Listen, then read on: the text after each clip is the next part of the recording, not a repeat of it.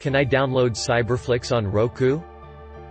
Now the all-screen receiver app on your Roku media stick will receiver the stream from the Cyberflix TV app.